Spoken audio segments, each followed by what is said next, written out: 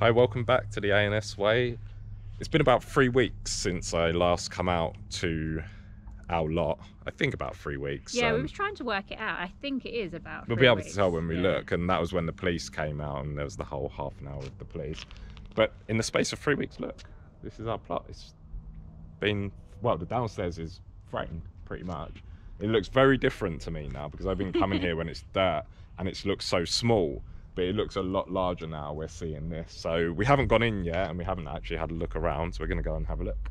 What's changed? What's interesting is I'm guessing we're going to be on a very slight gradient with the um, Oh, yeah. driveway. Because now we can see actually the size of our driveway now, which we haven't been able to fully tell. The thing with Woodside, especially at this site, or at least at this site, is the driveways are quite short. And the police officer that was going to move in here, one of the big things he said he has quite a long truck, and the back would have been close to hanging out, which he didn't like. Where we are at the moment, you not only do you have the double length, so you can fit a car, and you then have another slab here before you get to the road. Whereas here, it's kind of tight if you've got an F250 or an F350. But let's start as if we were going to go into the house. Hopefully there's nothing that we can trip over. So this is our entrance way and we've mentioned in the previous videos that it's a side entrance home. So this will be a gate um, or door that you go through and then the entrance is actually on the side there. This will be the front bedroom, which they've called a casita. So I guess it's not this it's a four bedroom home, but really this one is a separate bedroom. There's three bedrooms Yeah. upstairs and then one down here Yeah, the and then the one. double garage. So- okay, going down the side of the home. Much better idea of the space now. Yeah, and what's interesting is it seems a lot more elevated. So you know how you said about the the drive and then walking up here, it's, it seems more elevated than I expected. I don't know what I thought in terms of the position of the home to where we are parked at the moment. Yeah, no, I was saying it is Yeah. more elevated. So this is now the side. So this would be our entrance, and we haven't walked through, so I haven't seen all of the writing. I'm guessing, depending on your home style, they have listed out what you're going to have in here.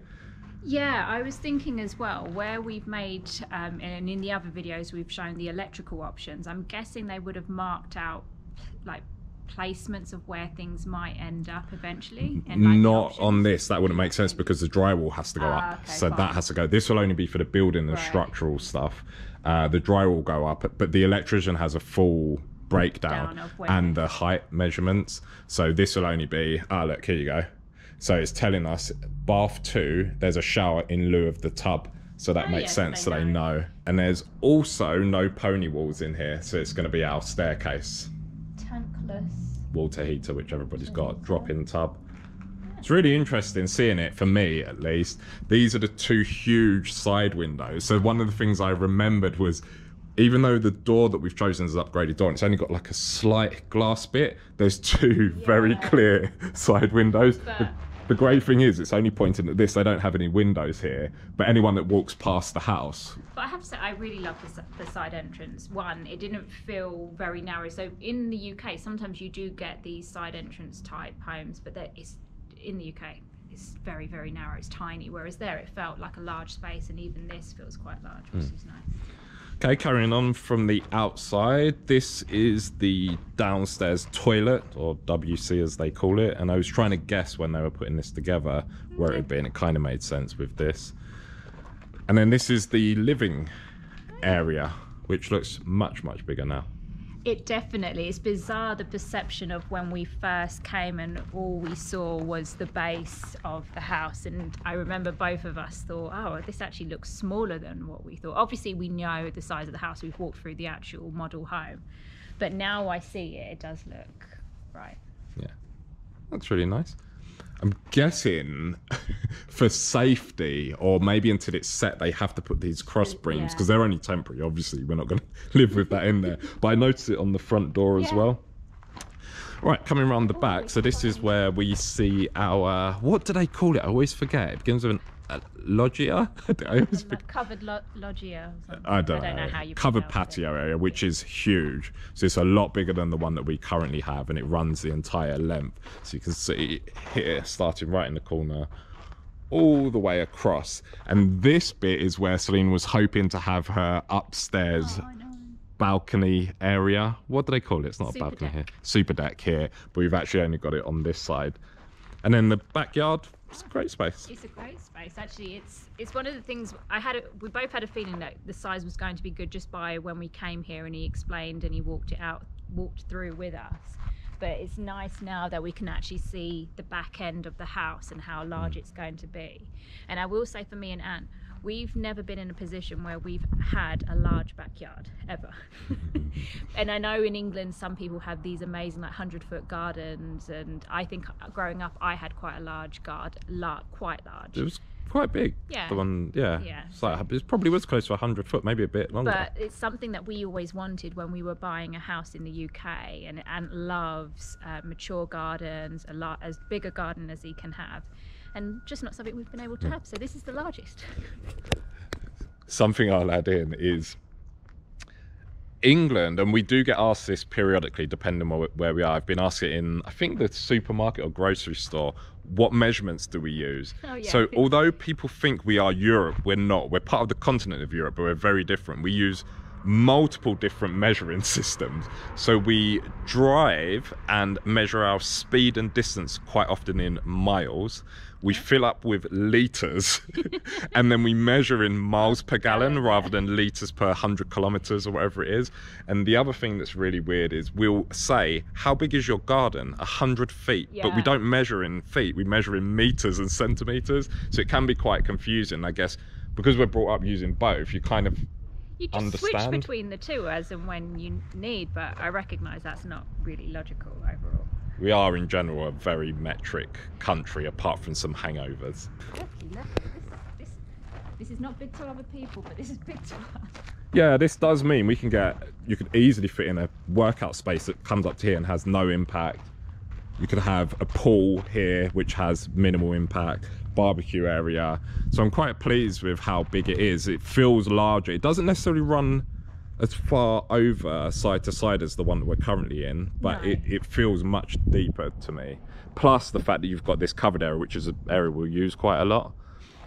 Yeah, I was thinking so Ant and I think Ant said this in the other video about what would we do with this space and he mentioned about having an outbuilding where we could set up our garage rather than taking up space in our garage to do that for our gym, our home gym.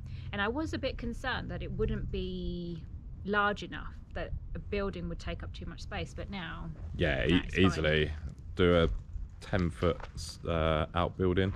And uh, you really get to see the elevation here. Each home is stepped up. What's that, two and a half, three foot? Um, each home. Some of them are actually a bit bigger because I can see there's more bricks, so they might be closer to four foot elevation each home. We're going to have to be careful just, just in case.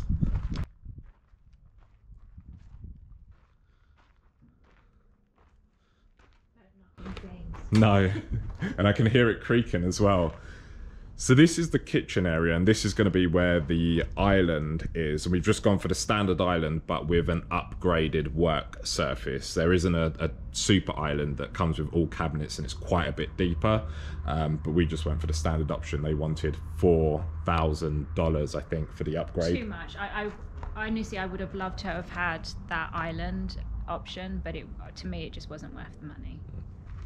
Dining area. We've got we've gone for the 12 foot slide here. I don't think we had an option but we were going to go for that anyway which means it opens out to part of the kitchen all of the dining area. So when you're eating if it's a nice day like today you can have this fully open. I would have preferred the slide. So if you get a fully a pocket slide it will actually slide the doors all the way through and they sit inside each other. So it opens the whole area out I don't particularly want to go in because I just don't know how secure it is. But uh, living area, that's the hallway. The hallway's huge in comparison to what we would expect in the UK, and that upstairs doesn't quite exist yet. But it's interesting to see how much, because obviously when the homes are built, you have no idea how much gap there is between the upstairs and the downstairs. These homes are all nine foot ceilings, which is really good. Really nice to have that headroom. Yeah, it's interesting because I was trying to what, see like where the stairs are going to be, so you can see the cupboard for, so you can see the entrance to the garage there, where the pantry would be, over there and then when you come along here you can track that round. So obviously the stairs which haven't been built yet will be going up there. Something that i'm personally looking forward to seeing because obviously now we've gone into our backyard we can actually see and appreciate what that space is like and what what's around us one of the main things about living here for me personally was the views and the mountains in in the background as well. So i'm looking forward to when we can go upstairs and see what sort of views we actually get out the back on our deck. I think they're going to be good because I don't know if you looked, even standing in the backyard, which is obviously a good 12 to 13 foot lower, you can see the mountains. yeah so, So eh, you're going to be more elevated. So I think it's going to be a lot it's, better. it's given me hope because i did look that's the first thing i looked at is whether i can see the mountains and you can and the front bedroom. So standing here, looking across to the left, we can see pretty much the entire strip from the Lux, or in actual fact, we can see the football stadium Yeah. all the way down to the new one, which is the con. What's it called? Resorts World. Yeah, so it's actually a really nice view of the strip from here. So if you're in the front, and I'm presuming at the front bedroom, we'll get some really good views. Hopefully. I find it interesting because we've just looked at the garage. It's going to be really useful if we do get an outbuilding Yeah. rather than trying to put the gym in the garage. And I would really enjoy having an outbuilding that you can open up the doors. Oh, Even if you've got to spend space. 20 grand, it'll feel so much nicer. And then you can put a portable AC unit and heat it up and cool it down as, as needed rather than at the moment we're at the mercy of the weather. So when it's really cold, it's freezing. And when it's hot, it can be 50 centigrade plus in there, so like 120 Fahrenheit. Um, and I, I like the garage space back. That'd be nice. Yeah, because we actually, Ant, definitely uses it. We've got our bikes and everything. He likes to work on cars, so we would actually make use, or I say we, Ant would actually make use of the garage space. yeah. Anyway, that's the end of our update tour of our new home. It's exciting for us. Yes, Hopefully, it's exciting for you following along. So, thanks for watching.